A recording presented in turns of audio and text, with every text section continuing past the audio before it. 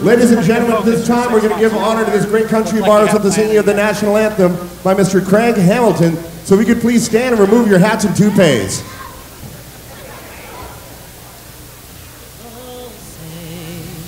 Can you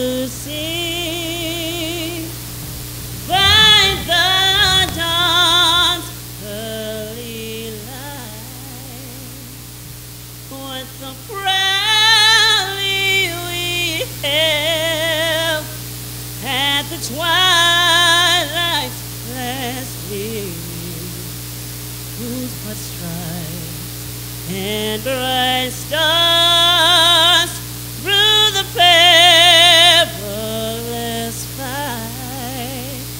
For the ramparts we watched were so